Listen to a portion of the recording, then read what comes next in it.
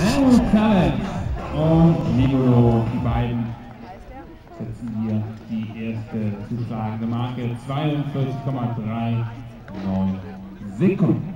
Schauen wir mal, was denn am Ende diese Zeit wert ist. Jetzt die 123.